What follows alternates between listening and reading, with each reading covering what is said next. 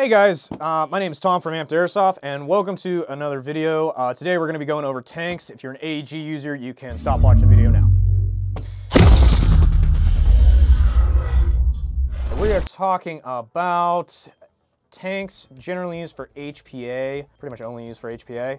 Uh, when we're talking about airsoft. So we're gonna go over the differences of different tanks, the basics of uh, how to use a tank, what to look for when you're buying, and the main components. So let's start with the main uh, components of the tank. So we're gonna start here with this nice larger Ninja tank. Going over the two main parts of the tank, obviously we have the main body of the tank itself. This is gonna be your storage. This is where all of your compressed air is gonna be.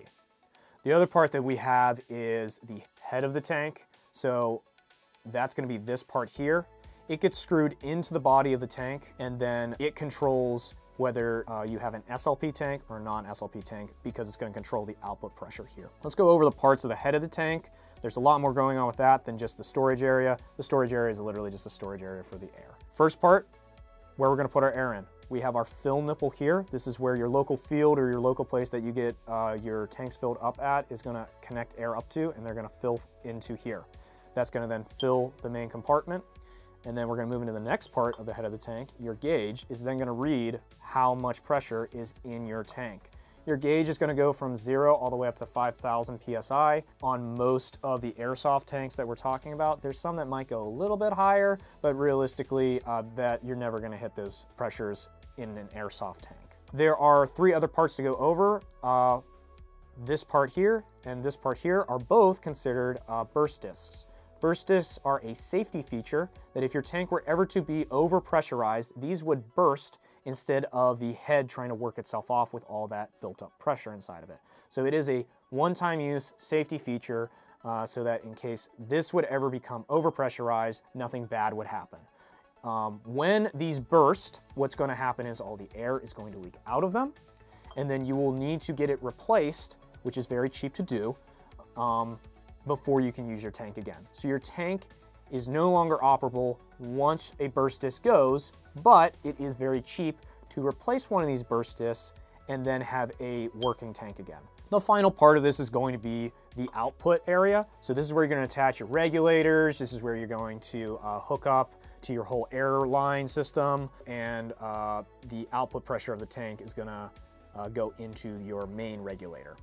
Um, the head of the tank uh, is also considered a regulator itself. It is regulating the 3000 or 4500 PSI that you have in the storage area all the way down to the output pressure. Your output pressure is going to be in one of two ranges. It's going to be either SLP, super low pressure, which is going to be an output pressure of around 350 PSI, or it's going to be non-SLP, which is going to be much higher output pressure, around 600 to 800 PSI. Uh, I'm not gonna get too much into non-SLP versus SLP. We have a whole video covering that. So that's basically your tank head and your tank body. Now there's one other thing to go over on your tanks and that is the size indicator, the PSI indicator, and your uh, hydro date. So let's go over where to find that on different tanks. So let's talk about the size and your pressure indication. So your size and your pressure indication are gonna be the two easiest things to find on your tank. They're probably gonna be the biggest or the most highlighted numbers on your tank. So on a Ninja tank, this one is gonna be considered a 62 cubic inch tank. That's gonna say that this is 62 cubic inches in size versus this 48 cubic inches in size tank, okay? We have a few different size of tanks over here. Uh, we have a 68 carbon fiber. I believe well, I don't need to believe, I need to read it. Uh, we have a 48 cubic carbon fiber versus this 48 cubic aluminum. And then we have 68 carbon fiber tank as well. Um, and we will go over why these two look different in size, but are the same capacity. And then over here, we have a 26 cubic aluminum tank from Tippmann. Okay, so that's the cubic inches. Again, they're very easy to find. Uh, they're probably gonna be the biggest number. So again, Ninja's gonna be right there. HK is gonna be here, very similar to Ninja on their aluminum tanks. And then your colored slash carbon fiber ones are gonna be in the color of the uh, color that you have. And then again, HK, uh, different style of carbon fiber tank is going to have it on right there. So it's a little bit more subtle on this version of a tank. So uh, let's go over the next large number on every tank, and that's gonna be your PSI. So aluminum tanks are generally gonna be 3,000. Most, uh, there's not really a lot of aluminum tanks that can hold anything higher than 3,000 as an airsoft tank. There's plenty of different styles of air tanks for scuba gear and other things like that, but for airsoft, these aluminum tanks are generally only gonna hold 3,000 PSI, as you can see right there by that large number. There's one on here, there's one on here. The other tanks, these carbon fibers, are gonna hold up to 4,500 PSI, which you can see right there on this red one. The other very important numbers and very not as easy to find numbers is going to be your hydro date. So your hydro date, one of the most important things about an HPA tank or a pressurized tank in general is that they are gonna have what's called a hydro date. That is going to be the date of manufacturing of the tank found on the tank itself.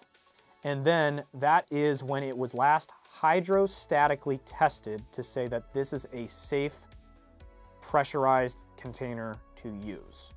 I'm being very specific on how I word that because um, there is a very specific way of testing these tanks. Um, basically what that means is if it has a date stamped onto it, it has been tested, has been certified, these are safe to use and put pressure into them. All these tanks are gonna have a hydro date on them, but the hydro date is going to be a little bit different and found in different places of each one of these tanks. So we're gonna go over aluminum tanks first, and then we're gonna go over carbon fiber tanks. They are different when it comes to hydro uh, dating. So I went over a little bit of what it is, but hydro dating basically certifies a tank to be safe from the date of manufacture. There is a test that gets done on all these tanks to determine that they are safe to be used under pressure. You can find that date on an aluminum tank generally around the top side ring of the tank there is going to be a few different things being written on this tank, basically stamped in in this upper area. On this Ninja, you're gonna have two lines of text. I believe on the HK, yeah, it's gonna be one ring of text, and then on the Tippmann, it is gonna be two lines of text like the Ninja. So on all of these aluminum tanks, you are going to find your hydro date on one of these lines of text here. The thing you're going to look for is two numbers with a unique symbol and then two numbers after that. So an example of this is found right here. That is your hydro date for this tank. It's a little hard to see because it's embedded. Basically, I have 08, weird symbol that I don't really know what it is, but weird symbol, in the middle, and then uh, the year of manufacturing, which is gonna be 23. So we have a tank that was made in August of 23. Your hydro date is the date was manufactured. A lot of people hear the term, oh, my tank's out of hydro, or hey, your tank is out of hydro. What that means is that your tank is now five years since the date and month of since the month and year of manufacturing. So that is what your hydro date is. When your tank is older than five years, you need to go get it rehydroed. I'll talk a little bit about the rehydroing process once I go through finding the date on all these tanks. Basically, what you need to know is that once your tank is out of hydro date, which would be five years past the manufacture date, you need to go get it rehydrated. With aluminum tanks versus carbon fiber tanks, you can get these tanks rehydroed as much as you want for the life of the tank until it fails. Once it fails, you cannot get it rehydroed. So that's the cool part about aluminum tanks. They can last for longer than carbon fiber tanks can because of the construction of the tank. And again, we'll get into what hydrostatic testing looks like and how you go about doing that and all that in a second here. So on carbon fiber tanks, you're gonna find a hydro date on them as well. They're actually, in my opinion, a little bit easier to see and read um, because of how uh, they're stamped on the tank. So an HK tank is gonna be very similar to a Ninja uh, and uh, First Strike tanks in where they put the hydro date. So the hydro date on this one is gonna be right here on the tank. So pretty much middle of a bunch of text. So the hydro date on this one is 05, unique symbol, and then 24. So this was made in May of 24. So five years after that, so May of 2029 is when this tank would eventually be out of hydro. The reason I'm going over carbon fiber different than aluminum is A, because the date is found a little bit different on carbon fibers, and B, carbon fiber tanks can only be rehydroed three times. So the maximum length of time that you can get out of a carbon fiber tank is 15 years from the original date of manufacturing, okay? So just keep that in mind when you're buying one of these more expensive carbon fiber tanks. You do get some benefits with carbon fiber versus aluminum, the main one being weight and another one being uh, higher pressure rating. So most carbon fibers are gonna be holding around 4,500 PSI, whereas aluminum tanks are gonna be holding around 3,000 PSI. So that means you can have a lighter weight package with the same or higher capacity than a heavier weight, bulkier package. Um, that is one of the many, many benefits of a carbon fiber tank and the reason why a lot of people use them. The downside and one of the other main differences is going to be the price. Carbon fiber tanks are always going to be more expensive than uh, aluminum or other metal kinds of tanks. Um, so that is the other big difference between the two of them. So we've gone through differences, we've gone through hydro dates and how you find them.